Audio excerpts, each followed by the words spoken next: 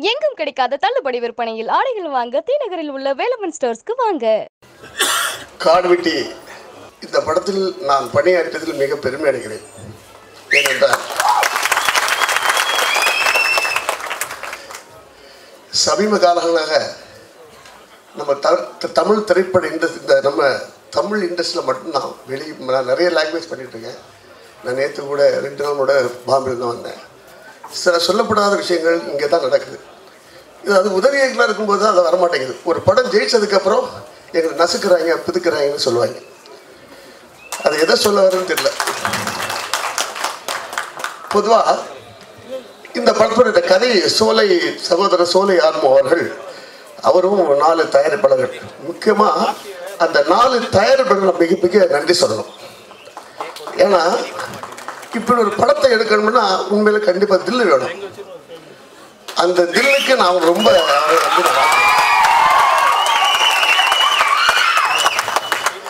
அது இல்லாம அந்த காடுவெட்டி ஐயா காடுவெட்டியாக எடுத்திருக்கிறார்ல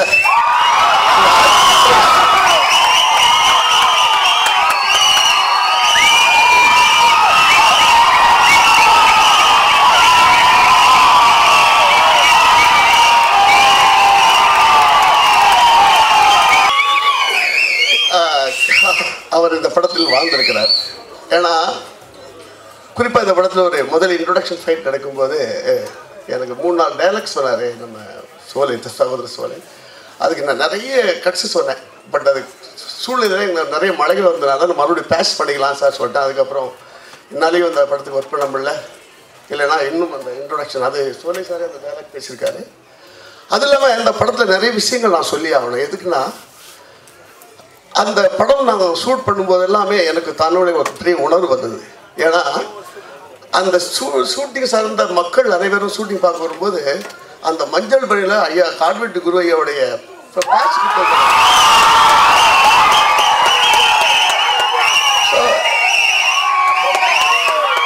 அதாவது ஏற்கனவே அவரை பற்றி நான் அவர் ஸ்பீச் எல்லாம் கேட்டிருக்கேன். எந்த ஒரு அரசியல்வாதியும் மதிக்க மாட்டார்.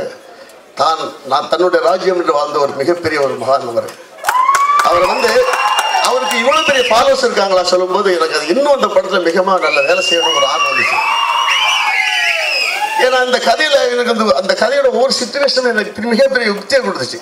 ஸோ இந்த படத்துக்கு இன்னும் பிரம்மாண்டமாக வேலை செய்யணும் சொல்லும்போது நானே கிளைமேக்ஸ் நிறைய விஷயங்கள் கொடுத்தேன். ஆனால் அதனால அவங்களுக்கு கொஞ்சம் ஒரு தயாரிப்பாளர் கொஞ்சம் லாஸ் தான். என்ன இல்லை லாஸ் தானே உங்களுக்கு?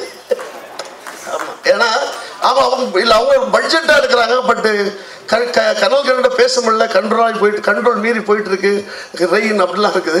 ஆனால் எடுத்து எடிட் பண்ணி பார்த்தோம் ரொம்ப ரொம்ப ரொம்ப ரொம்ப சந்தோஷப்பட்டாங்க.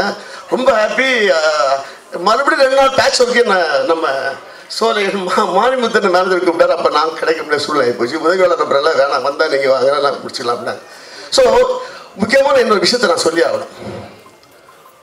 பொதுவாக இப்போ நம்ம பிரதமர் மோடி ஐயா ராம பூமி ராமரை பிரதிஷ்டை பண்ணும்போது இந்த உலகத்தில் உள்ள அத்தனை இந்துக்களும் அன்று இதை அன்று சாயங்காலம் அதாவது மாலை நேரத்தில் விளக்கேற்றுங்கன்னு சொன்னாங்க.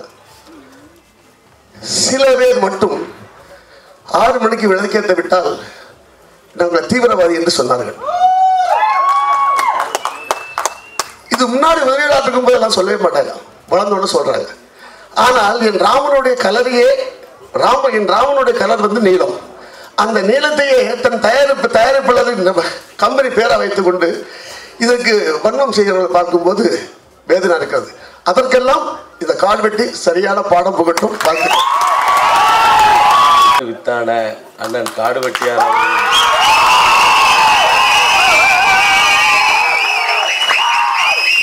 அவருடைய வாழ்க்கை வரலாற்றை மையப்படுத்தி இந்த திரைக்காவியம் தன்னுடைய இந்த விழாவிற்கு என்னை அழைத்தமைக்கு திரைக்குழுவினருக்கும் தென்னாட்டின் எங்களது செல்ல பிள்ளை என்னுடைய அன்பு பங்காளி ஆர் கே சுரேஷ் அவர்களுக்கும் எனது நெஞ்சார்ந்த நன்றிகளை தெரிவித்துக் கொள்கிறேன். மேடையில் வீட்டிற்கும் கலைத்துறையினருக்கும் தொழிலதிபர்களுக்கும் இங்கே வருகை புரிந்துள்ள ஜாம்பவான அனைவருக்கும் என்னுடைய வணக்கத்தை தெரிவித்துக்கொண்டு நான் தென் மாவட்டத்தில் வசித்து வருகிறேன்.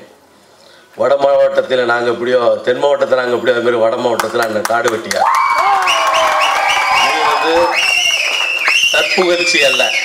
தற்புகழ்ச்சி அல்ல. ஒரு ரோட்டில் வந்து ஒருத்தர் அடித்தா ஒருத்தரை வந்து ஒருத்தர் அடிக்கிறான்னு வைங்க. அதை போய் ஒரு நூறு பேர் நின்று வேடிக்கை வைப்பான் அதை சென்னைனா யார் போய் கேட்பா? அவங்க போய் கேட்பாங்க. அதனால் போய் ஒருத்தர் அடிபடும் போது போய் தைரியமாக போய் எவன் கேட்குறானோ அவன் தான் சரி இப்போ விழுப்புரமாக இருந்தால் அண்ணன் காடு வெட்டியனுடைய தம்பியெல்லாம் இருப்பாங்க.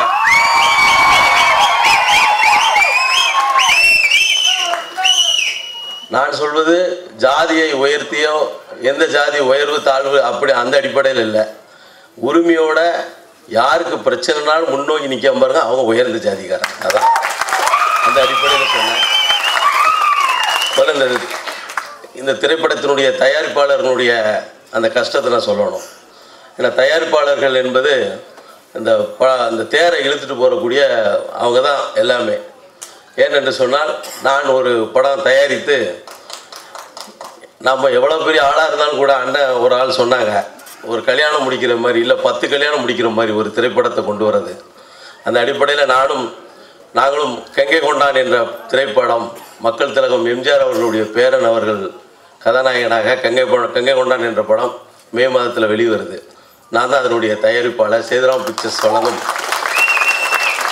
எங்கள் படத்தினுடைய டேரக்டர் இந்த உட்காந்துருக்காரு பாவமாக பார்த்துட்டு இருக்காரு இவ்வளோ கஷ்டப்பட்டுருக்காங்க. நம்மளும் இவ்வளோ கஷ்டப்படுவோம்மான்னு அந்த அடிப்படையில் தென் மாவட்டத்தில் குறிப்பாக எங்களுடைய முக்குளத்துவ சமூகத்தில் செல்ல பிள்ளையாக ஆர் கே சுரேஷ் தேவர் அவர்கள் வளம் வந்துட்டு இருக்காரு அவரை இந்த காடு வெட்டி குடும்பத்தில் நடிக்க வைத்தமைக்கு திரைக்குழுவினருக்கு இந்த நேரத்தில் என்னுடைய நெஞ்சார்ந்த நன்றிகளை தென் மாவட்டத்தின் சார்பாக தெரிவித்துக் கொண்டு இந்த படம் வட மாவட்டத்தில் எப்படி ஓடுதோ தென் மாவட்டத்தில் ஓட வேண்டியது எங்கள் பொறுப்பு. ரொம்ப சந்தோஷம்